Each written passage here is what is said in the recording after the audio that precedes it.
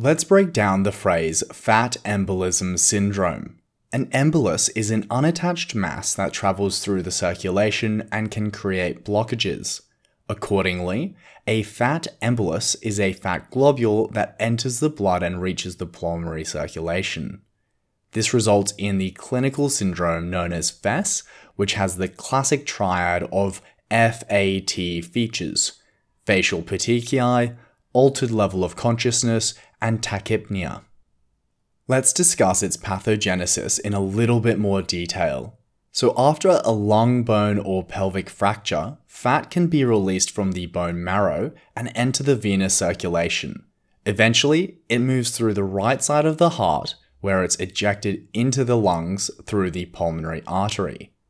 Consequently, these fat globules can collect, causing respiratory symptoms. Some really tiny fat microemboli are thought to be so small that they are able to pass through the pulmonary circulation into the left side of the heart. These microthrombi will then be ejected through the aorta back into the systemic circulation. This might explain the neurological symptoms and the petechiae associated with FES.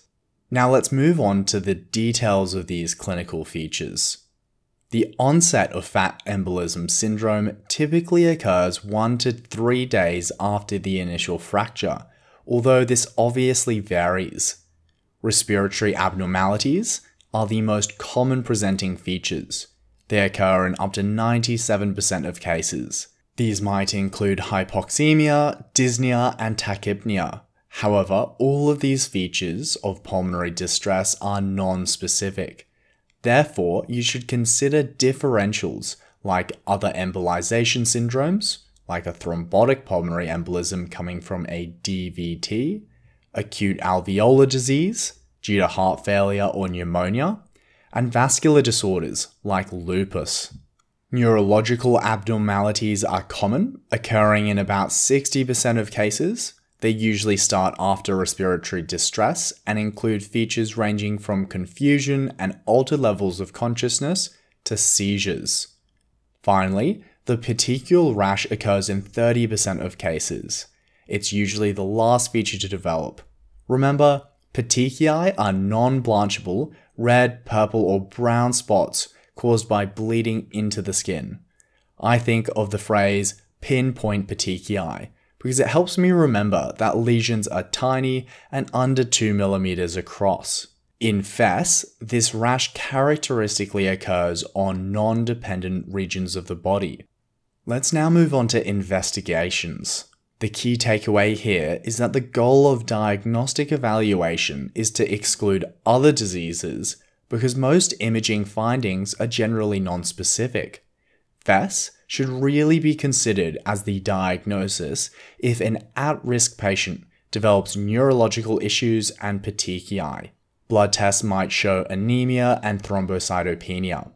Keep in mind that there are no specific biomarkers that have been validated for this disease. In terms of imaging, chest x-ray is usually normal, although a minority might show airspace disease due to edema or alveolar hemorrhage.